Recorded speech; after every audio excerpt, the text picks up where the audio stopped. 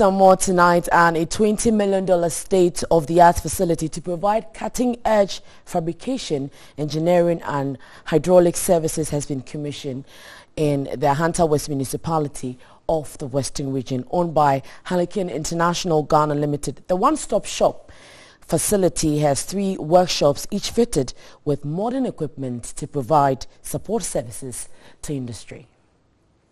The $20 million facility is a manifestation of 20 years of excellence in the provision of support services to industries in the country by Harlequin.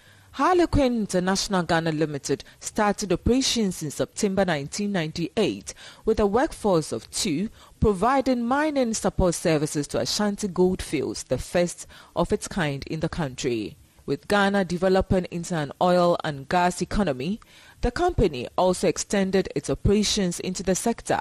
To enable it to provide excellent services to oil and gas companies, a 20 million fabrication engineering and hydraulic facility has been commissioned. The facility has three workshops.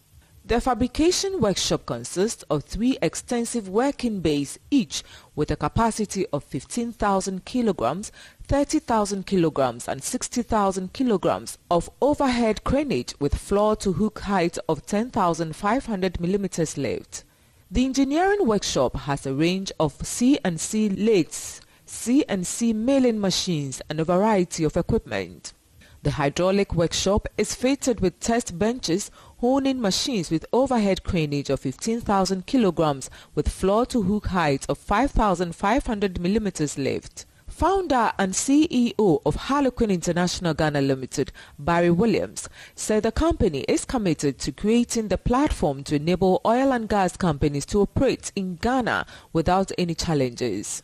We have grown from a small, humble company into a true market leader not only for Ghana but for all neighbouring countries and as a gateway to the West African region.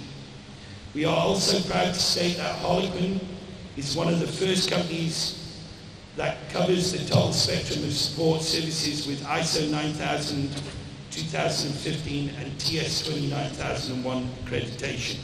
We have set out on a mission to deliver to all world-class services and solutions to customers in a consistent manner, and we are on track with this milestone.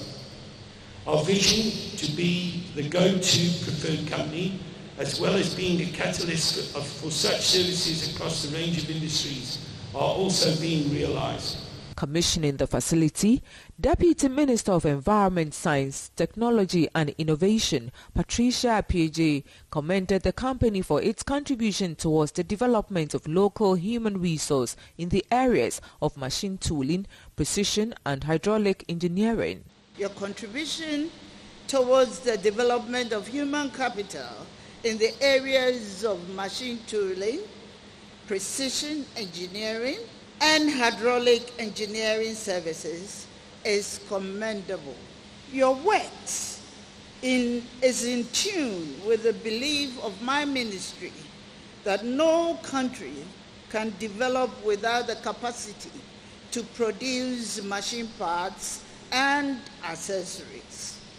There can be no industrialization without indigenous parts, indigenous capacity to build machines and installation facility for various industrial activities.